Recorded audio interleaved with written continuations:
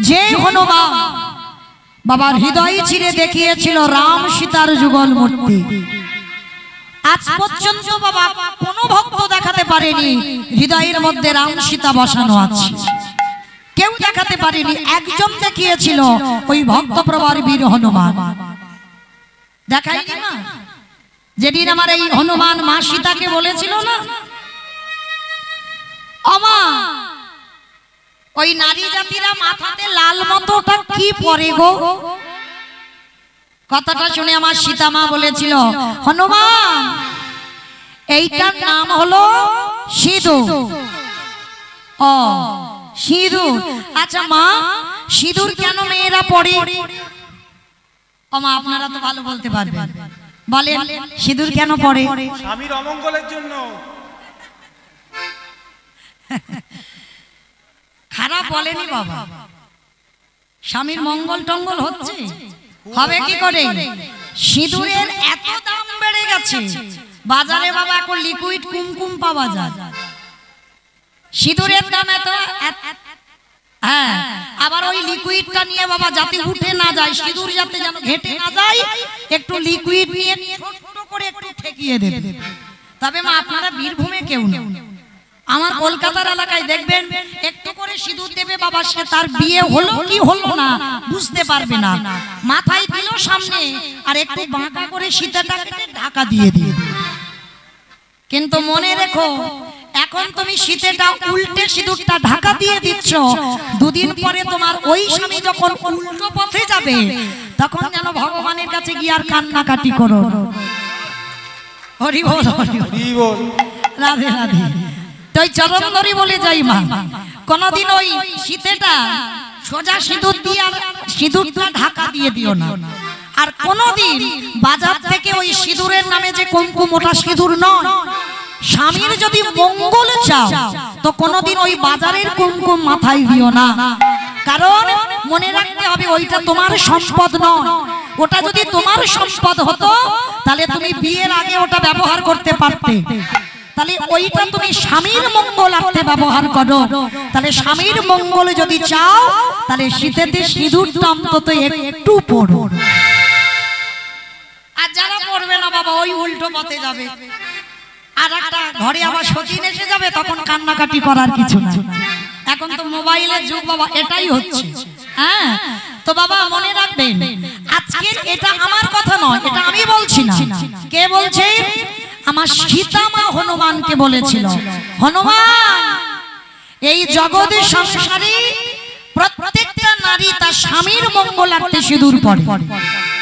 তা বাবা, হনুমান তো মানুষ নয়, ওর কপি কুলে জন্ম। তো হনুমান বলেছিল অমা মেয়েরা যদি স্বামীর মঙ্গলের জন্য সিঁদুর পরে অমামা তুমি কেন পড়ো? কিরম বোকা ছেলে দেখেছ। আরে বাবা আমি পড়ি যাতে তোর প্রভু রামচন্দ্রের মঙ্গল হয় ও তুমি আমার প্রভুর মঙ্গলের জন্য সিঁদুর পড়ো। ঠিক আছে। মা হনুমান কথাটা শুনে নিয়েছে। আর শুনে নিয়ে কি করেছে জানো? ভোর ভোর ঘুম থেকে উঠেছে। ঘুম থেকে উঠে গঙ্গা স্নান করে একেবারে সীতামার ঘরে গিয়ে দেখছে বাবা তিন কৌটো সিঁদুর। আর ওই তিন কৌটো সিঁদুর নিয়ে হনুমান মাথা থেকে পা পর্যন্ত বেশ করে মেখেছে। দেখবেন মা, হনুমানের একটা রং হচ্ছে লাল মানে সিঁদুরে লাল। সিঁদুর মেখে সারা গায়ে বসে বসে ঠাকুর ঘরে রাম রাম রাম রাম রাম রাম। ভগবানের কানে পৌঁছে গেছে, হনুমান! এই হনুমান! কে বলো তো এইরকম করে রাম রাম বলে ডাকে? ছুটতে ছুটতে আমার হনুমান যেই না প্রভু রেখেছে বাবা ভয়ে থরথর করে কাঁপছে এদিকে তো লাল হয়ে আছে শরীরটা। থরথর করে কাঁপতে কাঁপতে এসেছে রামচন্দ্র প্রশ্ন করলেন এই হনুমান সর্ব শরীরটাকে এইরকম লাল করেছিস কেন? কি করেছিস তুই দেহটাকে? হনুমান কাঁপতে কাঁপতে ভয় বলে উঠলেন প্রভু আমি জানব কি করি? আমি মাকে বললাম মা সিঁদুর মেয়েরা কেন পড়ে?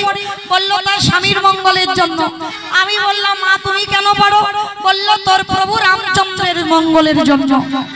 অগদয়াময় মা যদি ওইটুকু সিঁদুর মাথায় যদি তোমার মঙ্গল চাইতে পারে, আর আজ আমি সকাল থেকে মাথা থেকে পা পর্যন্ত ভালো করে সিঁদুর মেখে ভালো ভালো না জানি কত তোমার। মঙ্গল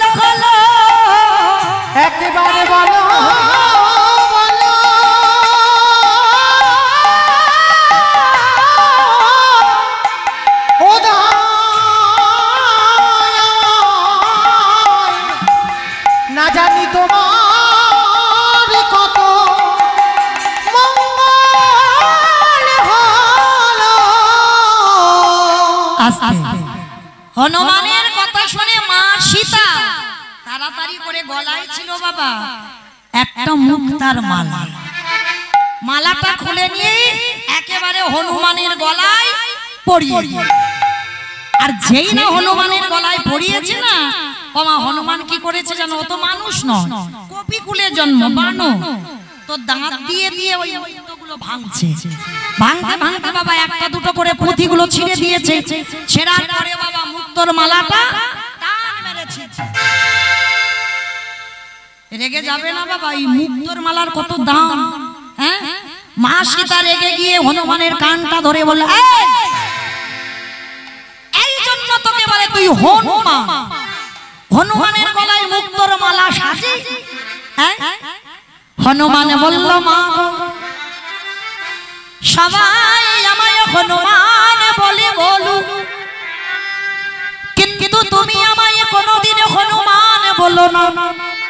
কেন জানো মা, আমার প্রতিটা লোমকূপে লেখা আছে রাম সীতার নাম।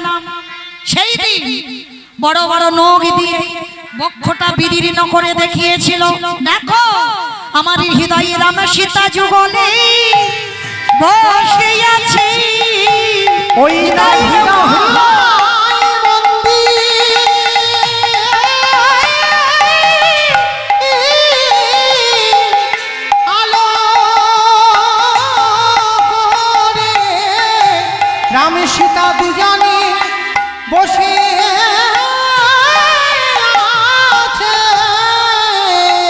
আস্তে আজকের বাবা সেই জগতে বড় ভক্ত যদি থাকতে হয় এই ভক্ত প্রবার বীর হনুমান ছিল। যেদিন বাবা রাম রাবণের যুদ্ধে ছোট ঠাকুর লক্ষণ বাবা শক্তিশালে পড়েছিল আর এখানে যারা বাবা রামায়ণ পড়েছেন যারা তত্ত্বজ্ঞানী বৈদ্যের নাম ছিল বাবা সুসেন বৈদ্য।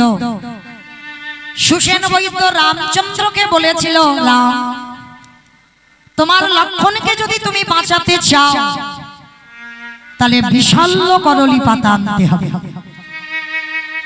যাবে কে? একজনের উপরে দায়িত্ব দেওয়া হয়েছিল বাবা, যে হলো ভক্ত প্রবার বীর হনুমান। ওই হনুমানের উপরে দায়িত্ব দেওয়া হলো কেন? কি আনবার জন্য? বিশাল করলি পাতা। যেতে হবে কোথায়? গন্ধমাদন পর্বত বাবা, গন্ধমাদন পর্বতে হনুমান গেল, আর গিয়ে বাবা বিশাল করলি পাতা চিনতে পারছে না। আর চিনতে পারল না বলে হনুমান একেবারে পর্বতটাকে চাগিয়ে নিয়ে আসছে। দেখবেন মা ক্যালেন্ডারে একটা ছবি দেখা যায় না? হনুমান পর্বত এক হাতে করে উড়ে উড়ে আসছে। এই সময়কার ছবি। লক্ষণকে বাঁচাবা বাঁচাতে হবে। আর সুসেন বৈদ্য বলেছিল বাবা, যদি একবার সূর্যদেব উঠে যায়, তাহলে লক্ষণ আর বাঁচবে না। এইবার বাবা গন্ধমাদন নিয়ে আসতে আসতে হঠাৎ হনুমান দেখে না সূর্যদেব উঠে যাচ্ছে। সূর্যের একটা নাম হলো ভানু, আর হনুমানের নাম হলো হনু। আজকে কি কীরকম ঘটনা দেখেন? এই হনুমানের এত বড় ক্ষমতা। ছোটবেলায় বাবা, সূর্যদেবকে লাড্ডু মনে করে গিলে খেয়ে ফেলেছিল। তাহলে কত বড় ক্ষমতা হনুমান এই হনুমান একেবারে লক্ষণকে বাঁচাবে বলে সূর্যের কাছে উড়ে গেছে। উড়ে গিয়ে বলছে, এই যে, তুমি ভানু আর আমি হনু। এসো। আমাদের কি মিল দেখেছ নামে? এসো। আজকে থেকে তুমি আর আমি হব বন্ধু। বাবা বন্ধু বন্ধু হলে একটু কোলাকুলি করতে হয়। তো তুমি আমার বন্ধু আমি তোমার বন্ধু। এসো। আজকে থেকে আমরা দুজনে একটু কোলাকুলি করি। আর যেই না বাবা দুজনে কোলাকুলি করতে গেল আমার হনুমান ভানুদেবকে নিয়ে কক্ষের ভিতরে লুকিয়ে রেখেছে। করজোর করে বলল হেই সূর্যদেব তুমি বোধহয় জানো না তুমি তো কালের চক্রে ঘুরতে ঘুরতে সময় অনুযায়ী ওঠো কিন্তু তুমি যদি উঠে যাও আমার লক্ষণ বাঁচবে না। লক্ষণকে বাঁচাবার জন্য ক্ষণকাল তোমাকে একটু কষ্ট ভোগ করতে হবে। এইবার কক্ষের মধ্যে নিয়ে আমার গন্ধমান্ধর পর্বতটা নিয়ে গেল। রামচন্দ্র বলল হনুমান তোকে পাতা আনতে বলেছি। পর্বত বলে প্রভু চিনতে পারি তুমি চিনে নাও। সুসেন বৈদ্য গন্ধমাদন পর্বতে উঠেছে। আর পর্বতে উঠে বিশল্য করণী পাতাটা তুলে রসটা ভালো করে নিগড়ে নিয়ে লক্ষণের বদলে দিচ্ছে। লক্ষণ প্রাণ ফিরে পেয়ে দাদা রামচন্দ্রকে প্রশ্ন করেছিল, দাদা,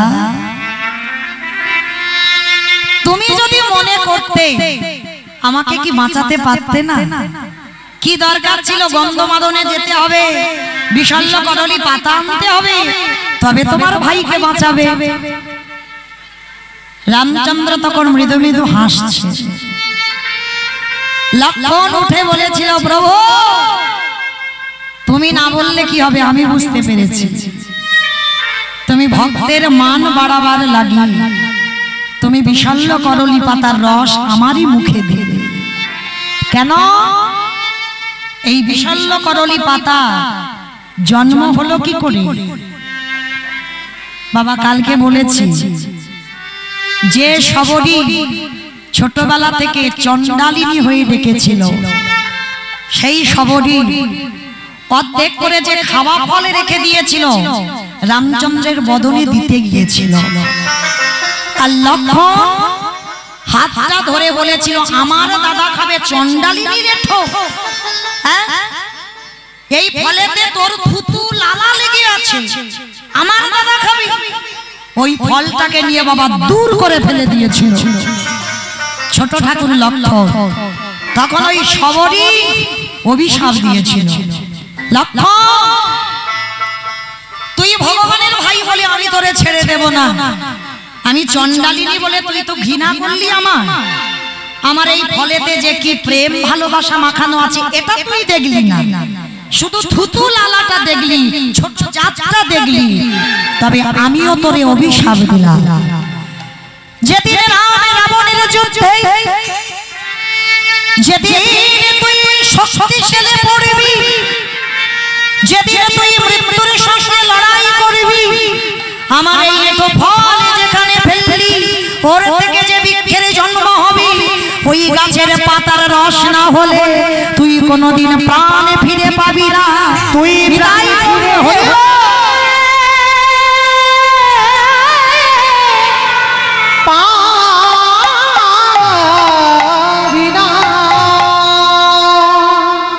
আজকের বাবা সেই দিন এসে গেল। সেই সবরীর উচ্ছিষ্ট আজ হয়ে গেল বিশাল করলি পাতা। ওই পাতার রস নিগিরে আমার লক্ষণে মদনে দিচ্ছে বাদনে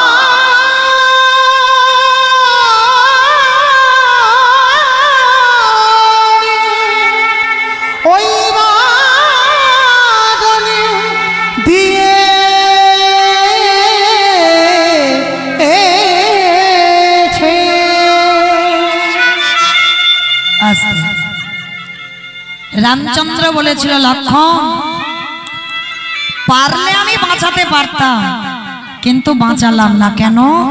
ওই চন্দালিনীকে জগতে সম্মান দেওয়ার জন্য, সবরই মান বাঁচাবার জন্য। সেই যে বাবা, সেই দিন যদি আমার হনুমান সূর্যদেবকে কক্ষে না রাখতো, আমার ছোট ঠাকুর প্রাণ ফিরে পেত না। আজকের লীলায় অষ্টসখী বলে উঠলেন, হে সূর্যদেব, পূর্ব জন্মে যে ভুল করেছিলিস, এই জন্মে তুই সেই ভুল করে ফেললি। ওরে অকরণ পন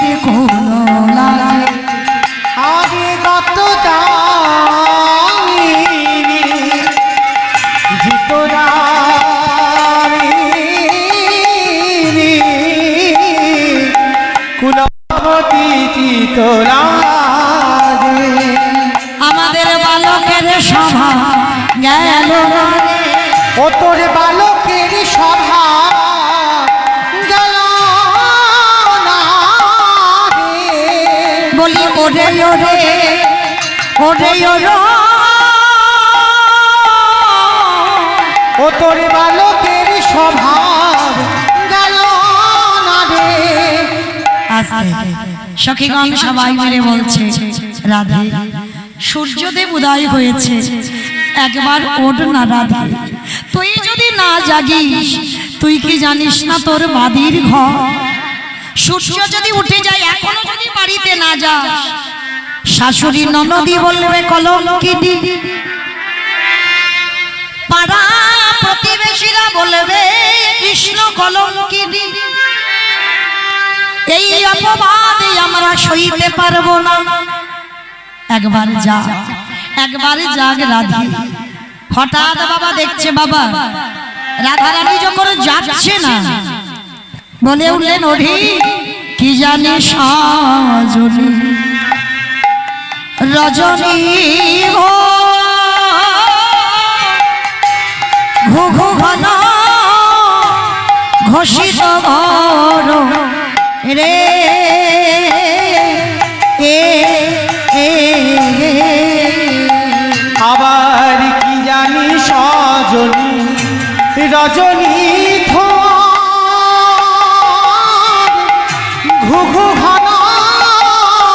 ঘোষিত ভোর রে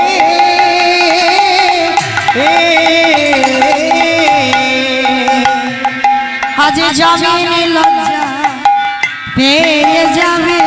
ওই জামিনী লজ্জা বলি আমাদের রায় কামিনীর কাছে। ওই জাহামিনী লজ্জা আমাদের কামিনীর কাছে, ওই জামিনী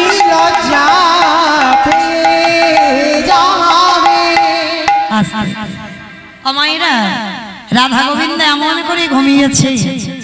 রজনী কেটে প্রভাত হলো। আর সেই রজনী যেতে যেন ভয় পাচ্ছে। কেন? এইভাবে যদি রাধা গোবিন্দ ঘুমা আমার রাধারানী ফিরবে কি করি? কিন্তু আমাদের ডাক যখন শুনতে পাচ্ছে না, তাহলে কি করব? বাবা রাধা গোবিন্দকে জাগাবার জন্য বনের পশু পাখি, কীট পতঙ্গ, ভ্রমর, ভ্রমরি, ময়ূর, ময়ূরী সবাইকে ডাক দিয়েছে। ওগো, তোমরা এমন করে ডাক দাও যেন রাধারানী বুঝতে পারে আর রজনী নাই। প্রভাত হয়েছে।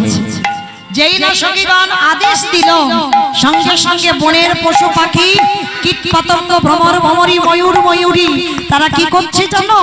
ফুকারত হত। শোকত অবজ মহা সমকলক রে। এ। ফুকারত হত শোক সব হুল রে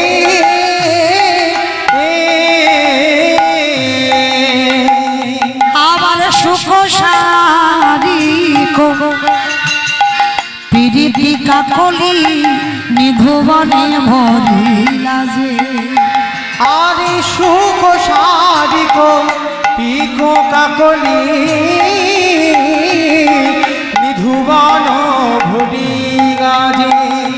বলি, রাই জাগো রাই জাগো বলে রাহি যাব রাই যাব বলে বলি, আর তো নিশি নাই সামে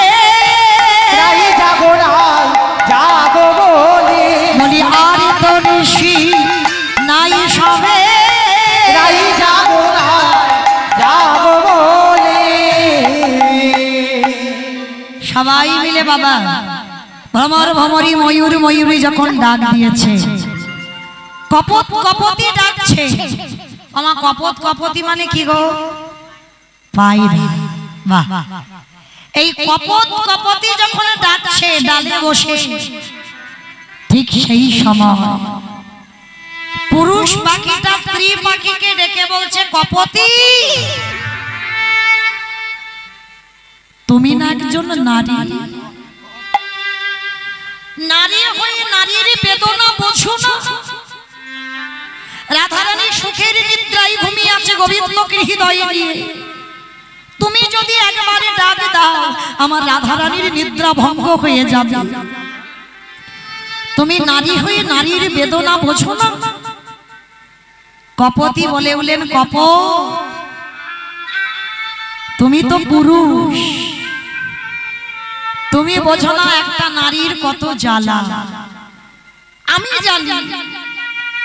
আমরা যদি মুখ দিয়ে আওয়াজ না করি রাধারানী যদি এইভাবে ঘুমায় তুমি জানো রাধারানীর শ্বশুরালয়ে গেলে কত কষ্ট পেতে হবে। যার জন্য আমরা চেষ্টা করছি রাধারানী যাতে জেগে যায়।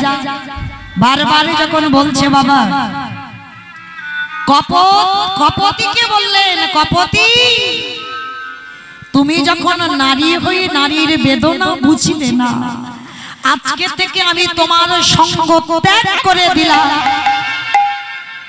আজকে থেকে আমি আর তোমার সঙ্গ করব না। কেন? যে নারী একজন নারীর বেদনা বোঝে না যখনই কথাটা বলল বলার সঙ্গে সঙ্গে বাবা কপতি মানে স্ত্রী পাখিটা, তার পুরুষ পাখিকে বললেন, আমি তো জানি তুমি আমায় ছেড়ে চলে যাবে। কেন? তুমি হলে আমার দুদিনের পতি। যেদিন আমার যৌবন চলে যাবে, সেদিনও তুমি আমায় ফেলে রেখে চলে যাবে।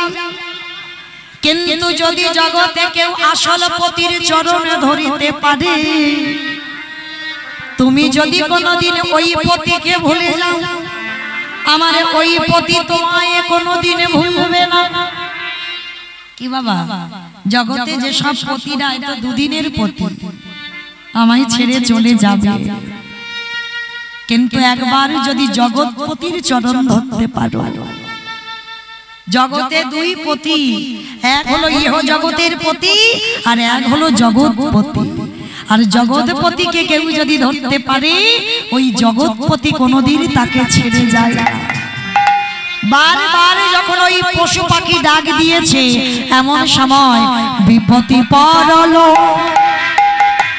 যুবতী বৃন্দ। আজ বিপত্তি বরণ ওই যুবতী বৃন্দ গুরুজনগতি কহ মন্দ বিপত্তি বরণ যুবতী বৃন্দ গুরু জনপতি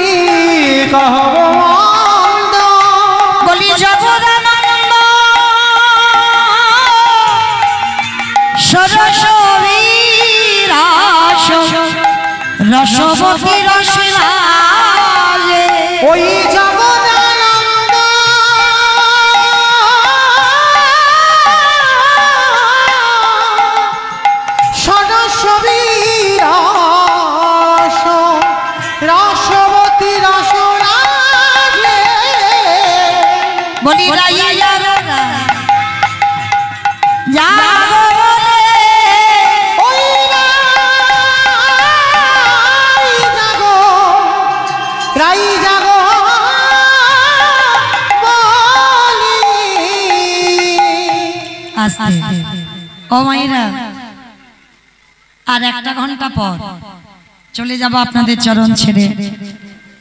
তো যাবার আগে একটা নিবেদন। আমার কমিটি দাদা ভাইদের হয়ে আমি আপনাদের কাছে নিমন্ত্রণটা করে দিই। প্রত্যেকের জন্য বাবা আমার দাদা ভাইরা অনেক ভিক্ষা করে। এক এক বৎসর ধরে আপনাদের জন্য একটু মহাপ্রসাদের ব্যবস্থা রেখেছেন। প্রত্যেকে এই যে কীর্তন শ্রবণ করলেন, এই কীর্তন সমাপ্তে প্রত্যেকে কিন্তু মহাপ্রসাদ গ্রহণ করবেন। কেন? অনেক কষ্ট করে বাবা মাধুকুরি করে তো আজকের আয়োজন করেছেন আপনাদের সেবার জন্য। আর যদি আপনারা প্রসাদ না পান, সেগুলো নষ্ট হয়ে যাবে। ওই জন্য একটা কথা মা, সব ভাগ্যে কিন্তু প্রসাদ পাওয়া যায় না। বহু বহু জন্মের সাধ্য সাধনা থাকলে তবে এই হরিবাসরে বসে ভগবানের প্রসাদ পাওয়া যায়। তাই প্রত্যেকের কাছে আমার নিবেদন, প্রত্যেকে প্রসাদ পাবেন। আর একটা কথা, আমার দাদা ভাইরা আপনাদের মতো ভক্ত চরণে কাঙালের মতো যাচ্ছে। যার যেমন স্বার্থ যার যেমন সামর্থ্য কিঞ্চিত দান করবেন। কারণ মা কালকের আর কেউ আপনাদের জ্বালাতে আসবে না। আজকে রাত্রিবেলাও কেউ জ্বালাবে না। বলেন তো মা, এই দাদা ভাইরা বাবারা যে ভিখারির মতো যাচ্ছে, ওদের কি পেটে খাওয়া হয় না? নিজের জন্য যাচ্ছে না গো। ভগবান বলেছে, যার যত থাকুক না কেন, কলিকালে যদি আমার মতো ভিখারি না হয় দাঁড়ে দাঁড়ে ভিক্ষা না করে, সেই প্রসাদ আমি গ্রহণ করি না। তার জন্য আমার এই দাদা ভাইরা বাবারা যাচ্ছে কাঙালের মতো। আপনাদের চরণে যার যেমন সামর্থ্য, যার যেমন স্বার্থ বইমুখ করে দেবেন না। আর কটু কথা বলবেন না, মনে মনের ভিতরে বলবেন না। আঁচল নিয়ে যাচ্ছে, ওই আঁচলটা যেন মা আজকের এই কুঞ্জ বর্ণ লীলাতে ভর্তি হয়ে যায়। আপনাদের কাছে এইটুকু আমার প্রার্থনা। তবে মা হ্যাঁ তবে শব্দ যেন না ওই যে ঝনঝন আওয়াজ না, ওইটা যেন না হয়। একটু বড় বড় নোটের ব্যবস্থা করো। আর যদি একটু বেশি কিছু কেউ দিতে পারো মানে পাঁচশো হাজার। এর কমে নয়। পাঁচশো হাজার যদি কেউ দাও, আমার কাছে এসে দিতে পারেন। আমি আমার রাধারানীর চরণে পৌঁছে দেব। আপনার কথা অবশ্যই আমার রাধারানী পূরণ করে দেবে, বাসনা পূরণ করে দেবেন এতজন ভক্তের মধ্যে বাবা, আমি এখনও এক ঘণ্টা দাঁড়িয়ে রইব। যদি কেউ পারেন, অন্তত আমার রাধা গোবিন্দের সেবায় আমার কাছে এসে আমার ভিক্ষার ঝোলাতে কিছু দান করে দিয়ে যাবে। নিতাই গৌরী বল দেখা যাবে বাবা, এতজন ভক্তের মধ্যে কে আছে? আমার ভগবানকে ভালোবাসে যে অন্তত পাঁচশো টাকা গোবিন্দ সেবায় দান করবে। আমি এখন দাঁড়িয়ে আছি, কেমন? শেষ পর্যন্ত দাঁড়িয়েও থাকব। বেশ। তো আজকে শ্রীমতী রাধারানীকে বাবা কেউ যখন জাগাতে পারছে না, এমন সময় কি করল জানো? দশ দিশ ভেল পলকা দশ দিশ নিরমল। হেল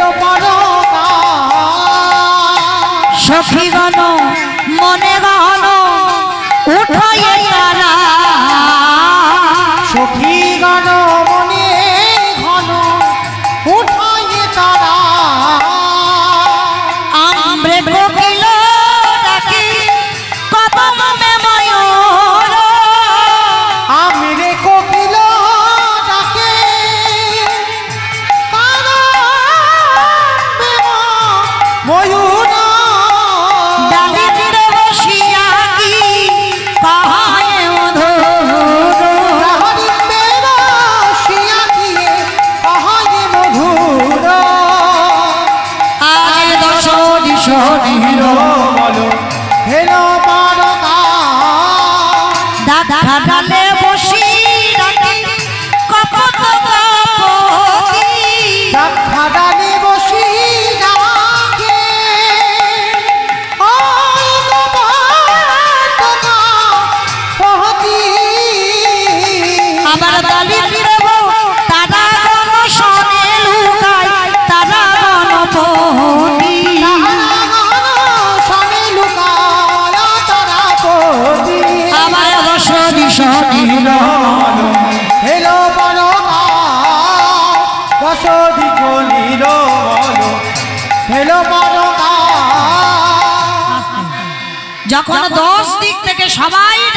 ডাক আর কি থাকতে পারে? এইবার হেরইতে ওই শোনো নিশি করো ভাই। মাধব দাস শিরে দেহি পদহা দেহি এমন সময় বাবা কেউ যখন পাচ্ছেন আমার রাধারানীকে জাগাতেই এইবার লীলার পাশে বৈষ্ণব মহাজন আমার বিদ্যাপতি করজোর করে তার বৈষ্ণব পদাবলিতে আমার রাইধনীকে জাগাচ্ছে। কি করে জানো? মায়েরা শুধু আমি নয় আর পদকর্তা বিদ্যাপতি নয় সবাই মিলে আজকে রাধারানীকে জাগাবো। সবাই উলুধ্বনি দেন একটু। রাই জাগো রাই জাগো শোক সারি রাই জাগো রাই জাগো বলে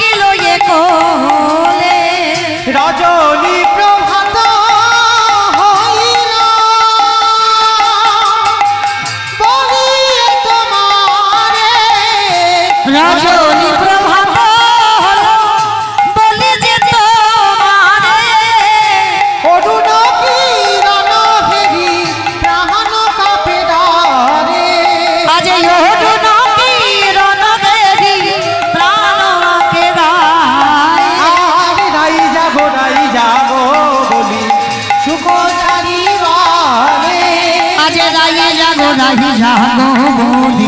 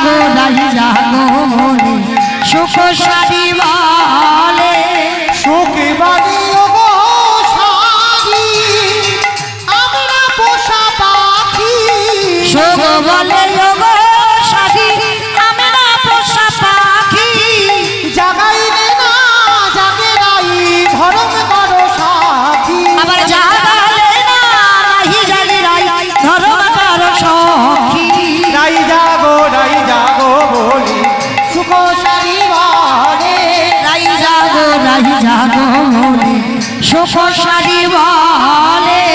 বিদ্যাপতি কাজে।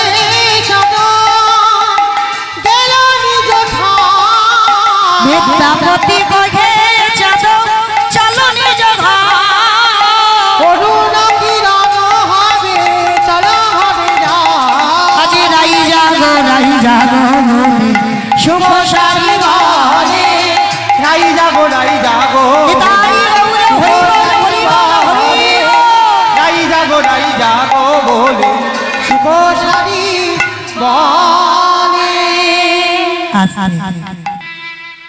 আর দেখতে দেখতে ললিতা বিশাখা ডাক দিয়েছেন, কাকেই? কারণ বাবা, রাধারানী যদি আগে না জাগে, আমার গোবিন্দকে জাগাবার অধিকার কারণ নেই। একজনই পারে আমার শ্রীমতী রাধারানী আমার গোবিন্দকে জাগাতে। এইবারে সখীগণ বলে উঠলেন, রাধে একবারে জাগে রাধে। রাই যাগো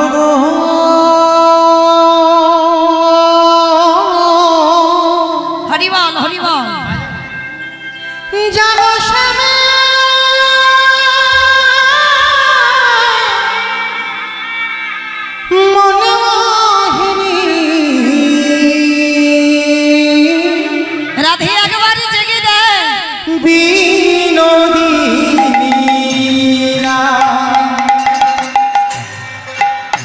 রাহি যাগো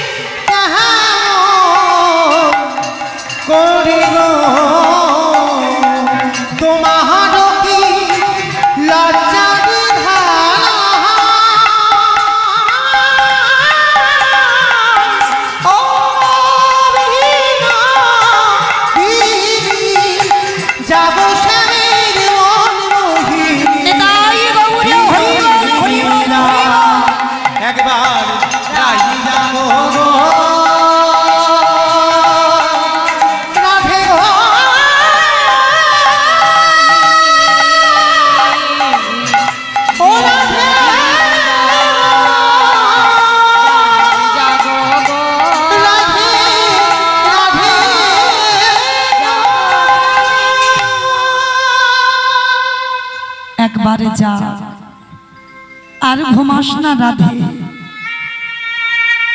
শাশুড়ি, ননদি, তোকে বলে কৃষ্ণ কলঙ্কিনী। পাড়া প্রতিবেশীরা তোকে বলে বড় মাতে করি। একবার একবার জাগ রাধে। বারবার যখন বলছে, রাধে, অমন করে ঘুমাস না। হঠাৎ বাবা পূর্ব দিকে চেয়ে দেখল, সূর্যদেব উদয় হয়েছে। আর যেই না সূর্যকে দেখেছে বাবা সঙ্গে সঙ্গে অষ্টসখী সবাই মিলে বলে উঠলেন রাধে ওই দেখ অকরণ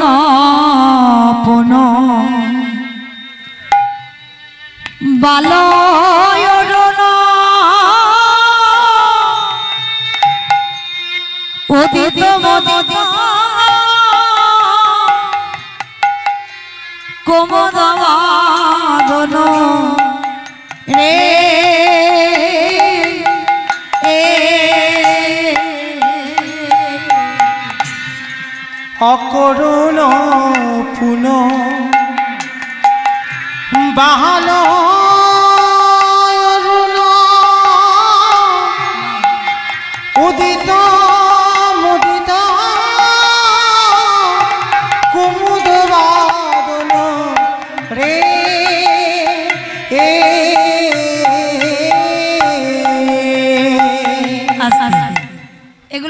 বাবা বানানো গান নয়।